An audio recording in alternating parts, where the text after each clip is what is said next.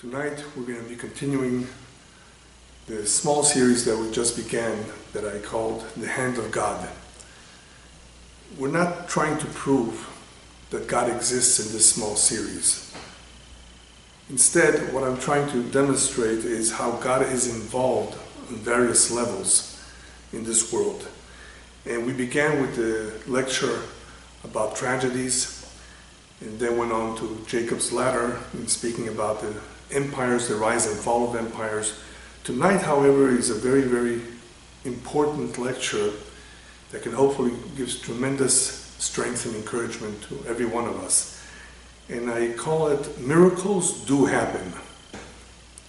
I think it's a very important topic. Many people question if there are miracles or not. And especially nowadays when people's faith has been tremendously shaken by world events Many are heartbroken, depressed, sad. So we all need what the rabbis call chizuk. Chizukim means encouragement, continuous encouragement, stimulation, strengthening, hope, because life can sometimes appear to be very, very cruel. And it's no wonder that you have a lot of the youth and those and even adults having to resort to the use of drugs to make them feel better, to make them feel high. There's obviously a sense of emptiness in many people's lives. People are, are looking for something that will make them happy. And they're having a very hard time with it. Nothing seems to be making them happy. And on top of all of that, of course, throughout history, people have struggled with the question whether there is a God or not.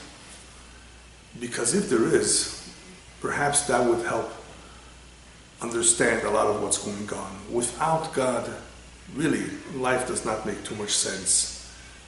Things appear to be bleak. And there's, of course, the famous question that survivors of the Holocaust would tend to ask repeatedly Where was God in the Holocaust?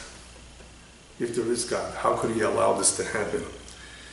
And one of them did approach a rabbi with this question Rabbi, where was God?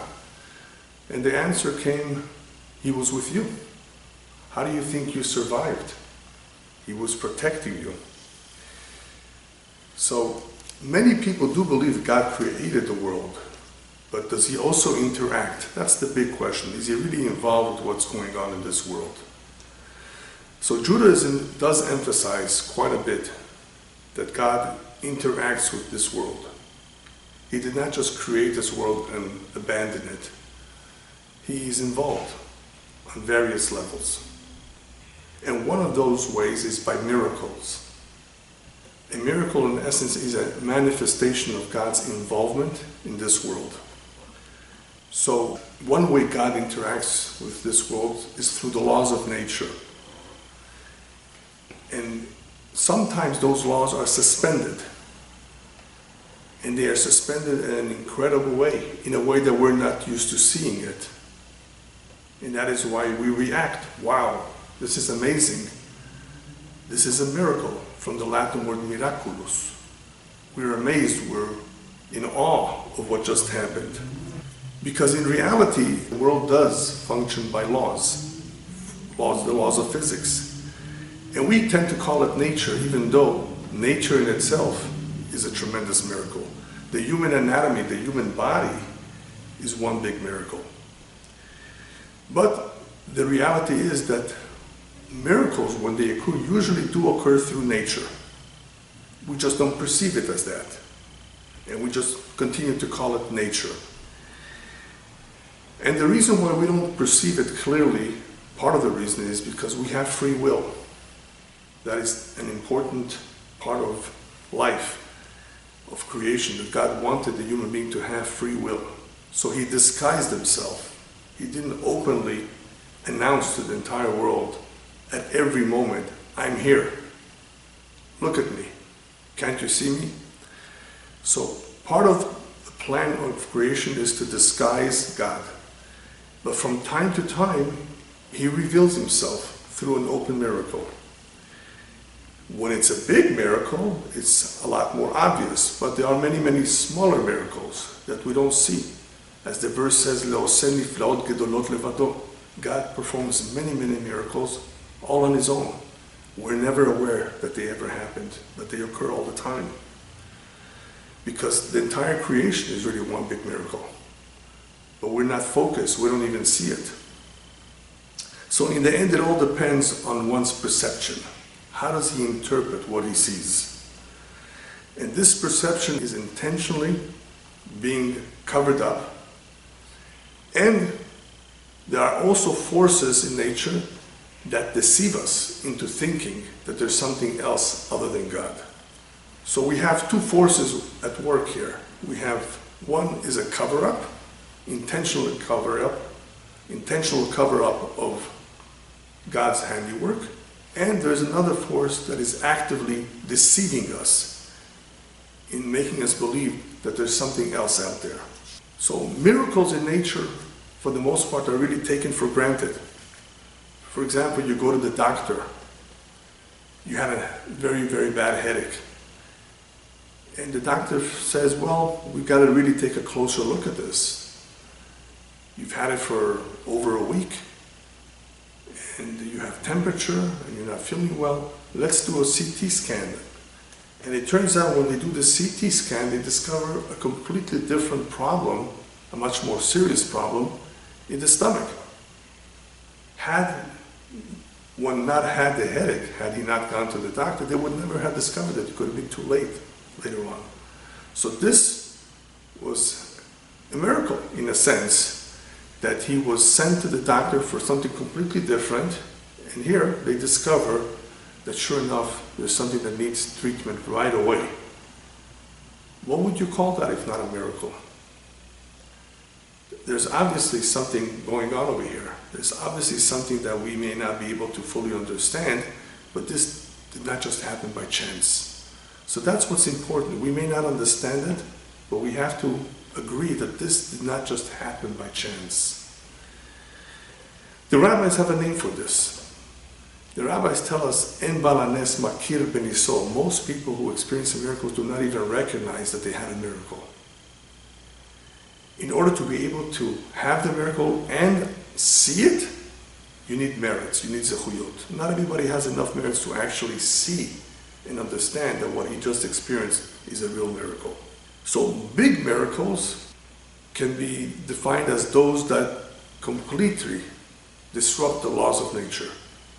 Here we were talking about some miracles, one class of miracles where they work with nature through the laws of nature, whether it's in medicine or elsewhere.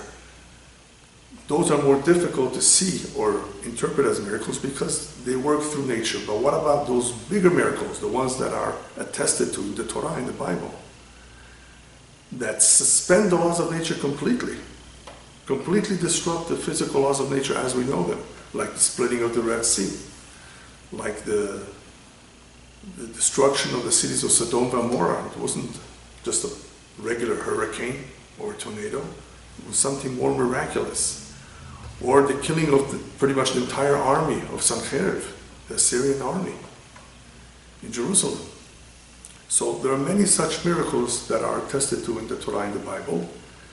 And of course, those that don't believe that this ever happened are losing the opportunity to, to learn for themselves that they, in fact, do happen. It's just a matter of perception. How else would you call it? What else would you call it if not a miracle? So, what is the purpose of a miracle? Why does God perform miracles? The simple idea behind a miracle is to awaken people's faith, to strengthen their faith, to give them hope, to remind them not to give up. As the rabbis tell us, even if you're under the guillotine, you're about to be hanged at the gallows, don't give up hope even at the last minute a miracle can happen. Your life may be spared. I may have shared with you the story of my sister's father-in-law, may he rest in peace, who was in Auschwitz as a young man. A whole group of them. They were sent to the gas chamber. And they're in the room. They're about to release the gas. The doors are closed. That's it. They're about to die. At the last minute, the door was opened and a German soldier came and said, I need you. I need a bunch of you guys immediately to do some work here. The last minute. One would have easily given up hope. There was no chance. A miracle. But would you call this a miracle? What is that? There's something else to that, obviously. It's not just a miracle. There's something that I will talk about soon called Hashgacha Pratit.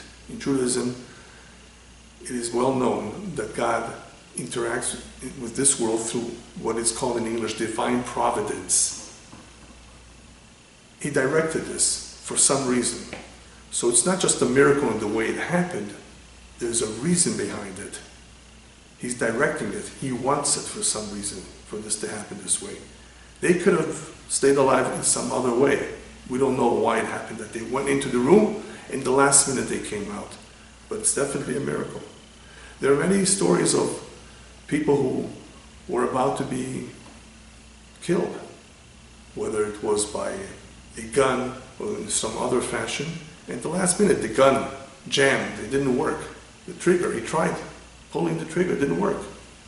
He even tried shooting elsewhere and it did work. So he aimed it again and it didn't work. What do you call that?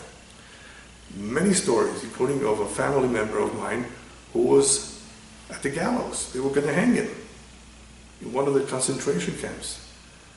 And on two or three occasions, the rope tore. He fell down. It didn't work. And when they saw that, the Germans, they just let him go free. They were freaked out. They couldn't understand it. And they said, well, you just earned your life. They somehow let him go. They could have shot him. They could have done other things to him. But they understood on their own. Somehow they figured it out. Wow, he's a lucky man. That's the way they looked at it. Lucky. Obviously, we know that this is a miracle. Miracles occur through messengers. They could be doctors, they could be angels, they could be even souls that have departed from this world. There's an incredible story that I like to tell from time to time about a widow who had a very successful business, and during the years that she was doing very well, she supported a school of scholars. All she asked was for that, that they should say the prayers for those souls that have departed, that have no one else to say the prayer for them, no children and the like. That's what she asked for. She was a very, very charitable individual. But eventually her business did not do so well, and she lost a lot of money, and she had no way of supporting that school anymore. And here she has a few daughters to marry off, and she had a very hard time making ends meet. And she was very, very sad. She didn't know how she was going to support the school, marry off her daughters. And she's walking down the street one day, thinking to herself, how am I going to do it? And an elderly gentleman approaches her and asks her, what's wrong? Is there anything that I can help you with? And she tells her her story that she needs right now desperately somebody to marry off her daughters. He took out a check and asked her how much she needs, and she told him, signed his name. But before he signed his name, he says, I want two witnesses that they should come and testify that this is in fact a check that I wrote. It's not a forgery or anything. It was a large sum of money. So she immediately ran to that school that she supported and asked for two young men to come and be witness. And they witnessed this man writing the check. He told her where to go to cash the check. So the next day she went to cash the check, and the lady, the teller, saw the signature, and she was in shock. She said, this can't be. She immediately called the president of the bank. And he too was very, very surprised. He says, this is a forgery, this can't be true. And she said, no, this is true. This is a real check. I have witnesses. Who gave you this check? This elderly gentleman who I met in the street. So the president of the bank took her into his office and pointed to a whole bunch of pictures in the wall. Can you point out the, this individual that you say gave you the check? And she pointed to him. And he immediately fainted. The moment he got up, he explained to her, This is my father who had passed away. He's not amongst the living. And he has been coming to me recently at night in a dream, criticizing me. How come you never do anything for my soul? You don't say the prayers. You're not observant anymore. It's only due to that lady who's been paying and supporting those scholars who've been praying for me that I got some sort of salvation in the upper world. This man now understood what just happened. And he, of course, gave her the money. The moral of the story is not just, oh, look at this miracle. This story tells us a lot more. Look, we see for a fact that the soul continues to exist in a different dimension, in a different realm, after it departs from this world. It also tells us about reward and punishment. Look how this woman was rewarded. This story is an incredible story to which there were witnesses. This is not made up. They saw this man. Where did he come from? Obviously, she merited experiencing this miracle and this financial help that she needed. Some people say, of course, if you only show me a miracle, I'll believe. There's a saying one who believes in God does not need miracles. One who does not believe, no miracle will help him. No matter how many miracles you show him, he will still not believe. So miracles is not exactly what makes one believe. They can strengthen one's belief, they can awaken it, but that's not what's going to prove it. And the reason for that is because a lot of things that happen we attribute to freak accidents. Well, statistically, this is not really normal. So it's a freak accident. Or they call it luck. Or they call it Mother Nature. They don't understand what's behind it. That God is actually involved in some way. And they don't see it that way.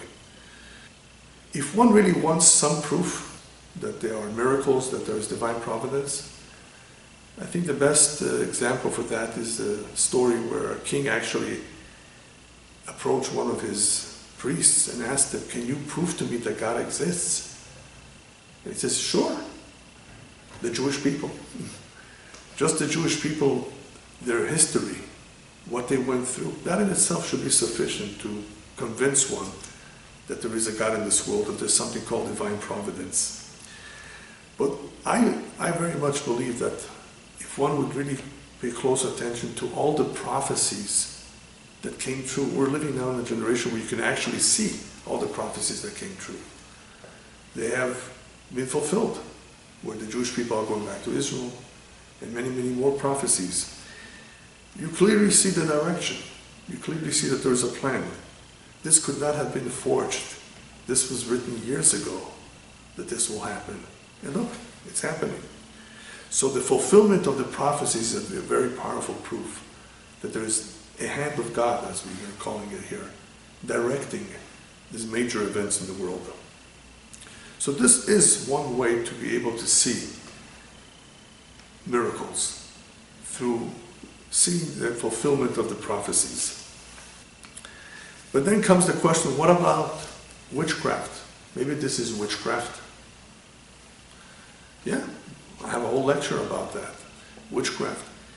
There are definitely other powers out there. We began to say that there are other powers who try to deceive, deceive us into believing that they are actually some sort of power. So I'm just going to briefly tell you how to distinguish between a miracle and witchcraft. All the powers of evil, all the impure forces, what they have in common is a koach hata'aya, as we would call it in Hebrew. Their power is to deceive. That's their intention here. That's what they're aiming at. So if you can see somehow what they're trying to accomplish, you may be able to tell. They don't have their own power. They're not completely independent. And that is why it is possible, if you know how to cancel their power, whatever they do, and it may look like they do something very, very interesting, it's still temporary. It's not something that will last. And more important than that, it's very limited. They cannot split the Red Sea. They cannot do major things in the world, that what we would call a clear miracle. If they can do anything, it's on a very small scale. They're very limited. But what really describes their function is evil, destructive. It's not something good. So you can see their fingerprints from time to time. If you somehow came across witchcraft, you would see that this is a destructive force, not a helpful force. It's deceiving you to believe that it has some power, that it's independent, that it can control you. But that's not true. So the Torah warns us about these powers. The Torah understands that they exist, and we should always know it is possible to do certain things with witchcraft. So what, which one is it? Is this coming from the good source or the bad source? The only thing that we need to know when we see something so amazing is to find out, to ask ourselves, is this coming from the pure forces or from the impure forces? The fact that it exists, we know. The Torah describes it, talks about it, and prohibits it because of the danger of eventually being, of being associated with idolatry. So now you understand too why one of the reasons why the Jewish people had to spend time in Egypt, and that's where the miracles began, is because the Egyptians were experts in witchcraft. And if they would be able to distinguish and admit, hey guys, this is this is the hand of God, this is not witchcraft. If they're going to say that and they're going to publicize it, then the whole world will understand that there's a God. There's a real God who's in charge of everybody, of everything. This is not witchcraft. So they were better than anyone else could attest to that because they knew what witchcraft is. They knew the limited powers of witchcraft. If you were to experience a real miracle, you would actually feel it. You would be able to, through your senses, understand that this is a real miracle. It somehow communicates differently than witchcraft. The impure forces act in a completely different way. And if one is sensitive to this, he would notice the difference. It may take time, sometimes it may be difficult initially, but through proper investigation, you would be able to figure out this is not positive, this is not good, this is evil, this comes from the impure forces. Ultimately, the miracle, the goal of the miracle is to strengthen or to awaken one to faith in God. A real miracle has the power to do that. Witchcraft will not do that, never. Because it is destructive, it is not helpful, it is not good. So that is why Maimonides points out that the Jewish people never believed in Moses because of the wonders that he performed. Because they could have been tricks, they could have been witchcraft. The only reason they actually took upon themselves the yoke of mitzvot of the commandments was because they heard the voice of God. Otherwise, they would not have believed Him alone because of what He performed. Yes, it's possible to deceive people, and that is why they, that generation, had to testify to this very important fact. We observed that we heard something. We were convinced beyond a shadow of a doubt that this is divine. This is not witchcraft. Very, very easy to deceive people. People can actually be fooled very easily. And because of that, that's why all of these forces out there that exist, the impure forces, are for the most part concealed. We don't see them, we don't have easy access to them. In the olden days when people actually wanted to, to do something like that, they actually had to learn it. They actually had to travel to faraway places to meet with people who specialize in this. And it still exists to some extent. But it's not rampant and it's not in the open because otherwise people would really be confused. And God does not want people to be confused. He doesn't give them all the power in the world. Otherwise, it would be impossible to tell right from wrong, truth from falsehood. So, in the same way that we can figure out where this is coming from, when prophets wanted to give a message, we also had to investigate them. Is this a true prophet or a false prophet? There were many, many false prophets with false messages. Incredible. But we have a record of this. We had to really check them out. And there's a way to check out if what someone is saying is the truth or if it's false. In other words, if he claims if he's a prophet from God or not. A lot of people would gain tremendously in life.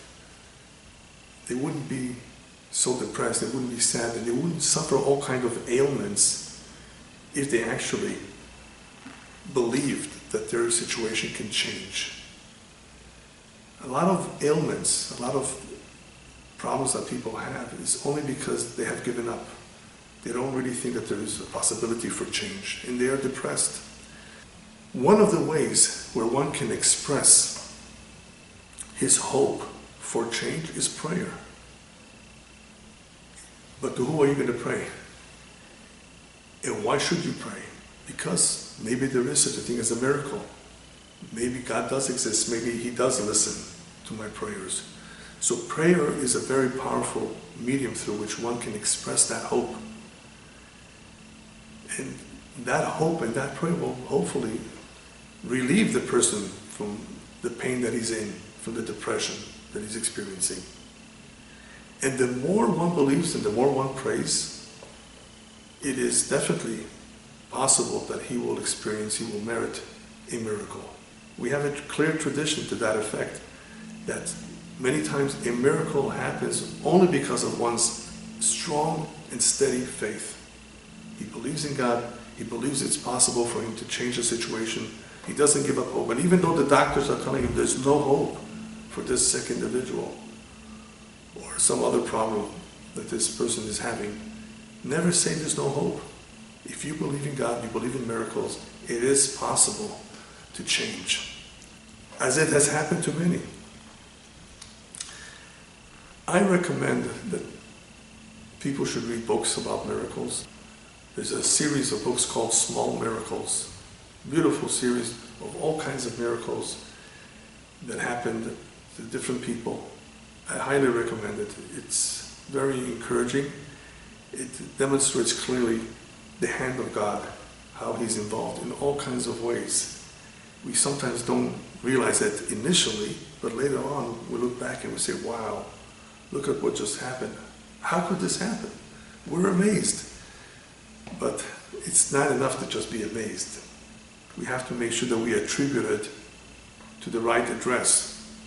How could this happen? Only because he wanted this to happen. He allowed this to happen. There's a nice saying, and I don't re- recall who said it, but it says as follows There are only two ways to live your life. One is as though nothing is a miracle, and the other is as though everything is a miracle. I highly recommend next time you hear something in the news something that is miraculous, rethink, rethink what just happened. Why is it that certain people were saved from a plane crash? Whether it was that they were in the plane and it crashed, or whether it was that they just missed the flight. They were supposed to be in the flight regardless. Or why is it that certain people initially, when they went to the doctor, they were diagnosed with a tumor.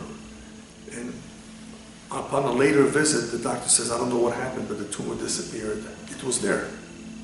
Here's the x ray. How does this happen? What about sometimes you hear in the news a baby, a child falling off a balcony from the third, fourth, fifth floor, and it just happened to be at that moment that he was falling somebody was passing by and he caught the baby. I mean, how come? Just as he was falling, somebody passed by. Rethink a little bit what could these things be if not the hand of God? One of my favorite stories that shows miracle, that shows divine providence in an incredible, powerful way that was quite convincing is the following story that happened to two Russian soldiers in Afghanistan. If you recall, the Russians invaded Afghanistan, there were several years there. There were two Jews, one who was a believer in God and one who was more of a, an agnostic. He did not believe in God, or he wasn't sure. And they always had discussion between themselves about God. Does God exist, not exist? And here they're going to Af- Afghanistan. But one was headed in a totally different direction than the other. So the one that was headed towards the battle zone in Afghanistan had some experience with zoology. He was an expert with snakes. And uh, that's what he was going to do. During his free time, he was going to look for snakes. But before they parted their ways, before they said goodbye to each other, the soldier who believed in God told the, the other one who did not believe in God, just remember, whenever you're in trouble, just call out to Him, call out to God, and you will see that He will answer your prayers whenever you're in trouble. Remember that. Okay. So when he arrived in Afghanistan, the first thing he did was look for the holes where the cobras are. He knew exactly what to look for, and he found one, and uh, became actually friends with this cobra. He fed him from time to time. Whenever he had a free moment, he went to the hole. The cobra came out, took his food, went back into the hole. He was an expert. He knew how to deal with snakes.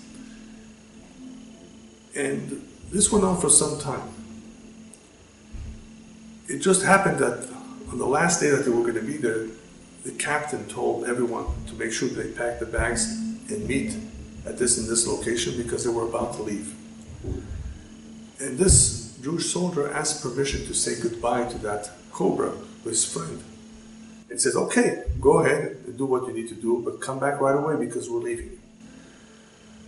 So he went to the cobra one last time, put some food next to the hole, and as soon as he put the food next to the hole, the cobra came out quickly and stood up, erect.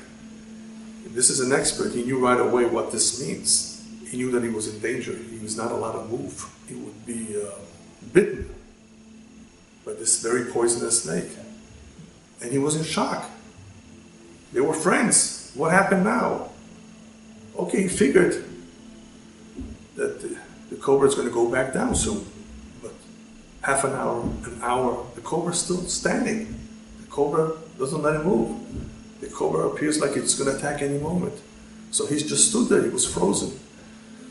An hour, two hours, three hours or so went by until finally the cobra went down, back into the hole, and he immediately ran, took what he, what he had with him, and he didn't see his friends anymore. Everybody was gone. What do you do now? So he decides he's going to follow the tracks. They were on an armored personnel carrier. And he followed those tracks. And he was able to see where the tracks were leading to. And he finally catches up with that armored personnel carrier. And what does he see? They were all ambushed. They were all ambushed by the Mujahideen in Afghanistan. They were all killed. Now, let's go back a little bit in time. During those three hours, what do you think the soldier did? He had a lot of time to think. And uh, he remembered what his friend told him. So during that time that he was facing the snake, he says, God, if you really exist, please help me out. He prayed. He prayed to God sincerely, intensely. And after that prayer, that long prayer, apparently the snake went back into his hole he was able to go to his friends. But look at what happened here. He realized that those three hours were crucial. That's what saved his life. Had he been with his friends, he would have been killed. That snake saved his life. That snake was a messenger from God. God has all kinds of messengers. So during that time that he was frozen on his track and he couldn't do anything, he had time to do as his friend told him to do. When you're in trouble, turn to him. And he said to God, God, if you exist, please help me out. He not only helped him out, he saved his life. And of course, that was the beginning of a new life because he completely changed his beliefs. He now realized that this is true, that our faith is, is true, And eventually, I believe these two soldiers emigrated to Israel when the Iron Curtain came down. It's an incredible, powerful story because it proves not only miracles, it proves that God works in all kinds of ways to save people's lives. It shows divine providence. The fact are that miracles happen every day if we're willing to look around. So look deeper. And one day you will discover how you yourself are a great miracle as well. Amen.